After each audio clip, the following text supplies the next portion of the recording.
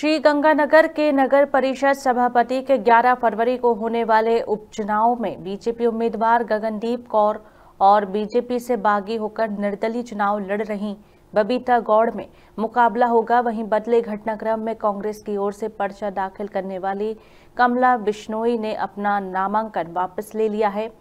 वहीं पर्चा उठाने के साथ ही कांग्रेस ने बबीता गौड़ को समर्थन देने की घोषणा की है।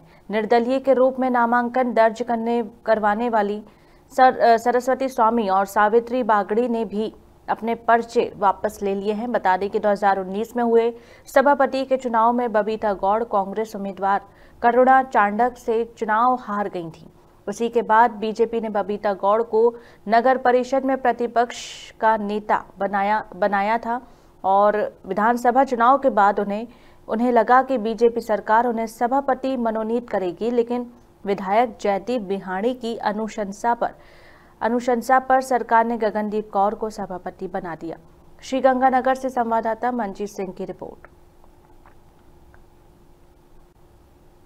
देखिए, मैंने जिस दिन कमला जी का हमने नॉमिनेशन किया था और आपसे सबसे बात की थी, मैंने एक बात कही थी। सबसे पहले कि हमारा जब चुनाव हुए थे, उस वक्त जो हमारे सिर्फ़ उन्नीस पार्षद जीते थे, उसमें भी हमने तीन के खिलाफ कार्रवाई की और हमारा संख्या बल सोलह पार्षद था।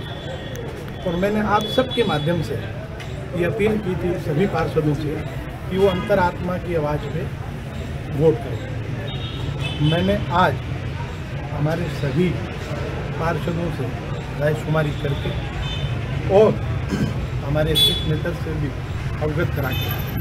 हम लोग, हम सबका एक लक्ष्य है कि भारतीय जनता पार्टी का बोर्ड नहीं बने।